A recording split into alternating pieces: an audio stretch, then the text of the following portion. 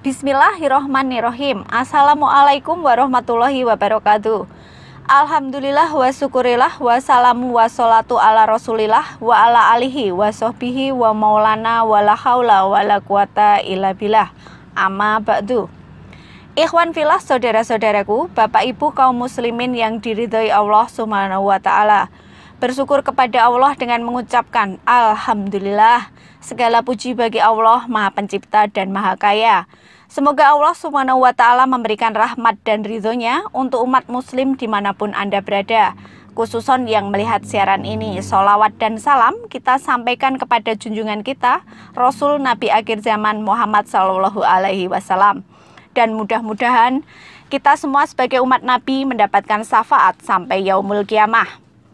Ikhwan Filah, melalui siaran ini kami sebagai tim pengembangan PWU Peduli Umat Wakaf Umat yang bekerja sama dengan Yayasan Aduha yang terdaftar sebagai organisasi resmi kemasyarakatan dengan nomor 00 strip 34 titik 01 garis miring 008 garis miring 11 Romawi garis miring 2014.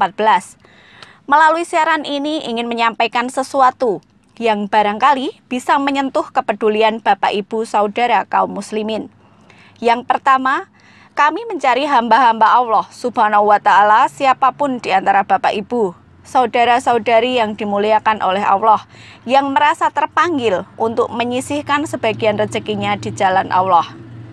Saat ini kami sedang diberi amanah untuk mengembangkan satu proyek akhirat yaitu kami akan membangun pesantren tahfiz Quran PWU di daerah Tupin, Sidoarjo, Lendah Kulon Progo, Yogyakarta di atas tanah wakaf seluas 2.430 meter persegi yang insya Allah nantinya akan kami kembangkan sebagai area terpadu seluas 5 hektar.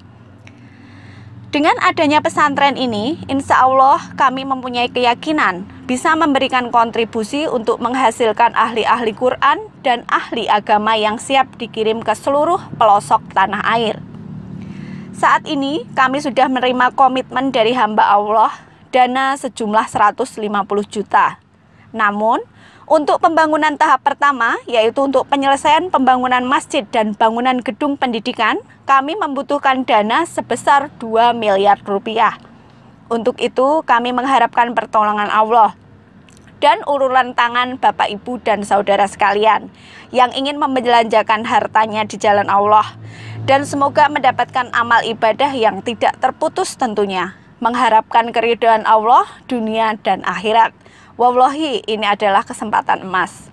Silahkan bantu kami untuk mewujudkan program ini. Silahkan berwakaf jariah berapapun nilainya. Jika Bapak Ibu ada yang ingin datang mengunjungi lokasi kami, kami menerima dengan tangan terbuka. Monggo, kami persilahkan. Bapak Ibu, saudara-saudari juga bisa menyalurkan langsung melalui Badan Amal Zakat dan Infak dengan kode registrasi dari Menteri Agama S garis miring SK strip UPZ garis miring MSJD garis miring 2021 dengan ikhwah filah semoga doa kami dikabulkan oleh Allah subhanahu wa ta'ala. Jazakumullah khairan katsiran. Semoga Allah membalasmu dengan kebaikan. Wassalamualaikum warahmatullahi wabarakatuh